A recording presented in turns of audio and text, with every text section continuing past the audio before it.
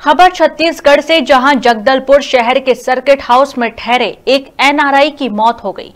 घटना की सूचना मिलते ही कोतवाली पुलिस मौके पर पहुंचकर मामले की जाँच में जुट गई है।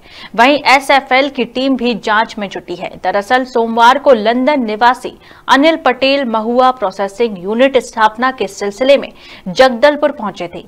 यहाँ उनके लिए सर्किट हाउस के रूम नंबर एक में ठहरने की व्यवस्था की गई थी। वहीं बीती रात अनिल पटेल खाना खाने के बाद अपने अपने रूम में सोने के लिए चले गए। इसके बाद सुबह सर्किट हाउस के कर्मचारियों ने उनके रूम का दरवाज़ा खटखटाया। लेकिन बहुत देर तक उनका रूम का दरवाज़ा नहीं खुला। इसके बाद कर्मचारियों ने इसकी जानकारी मैनेजर को दी। अधिकारियों को भी जानकारी दी गई। वहीं पुलिस ने रूम से दिल की बीमारी से संबंधित कुछ दवाइयाँ बरामद की हैं। पुलिस ने प्रथम दृष्टिता में अनिल पटेल की मौत का कारण दिल का दौरा पड़ना बताया है। जगदलपुर से संवाददाता मोहम्मद अल्ताफ की रिपोर्ट।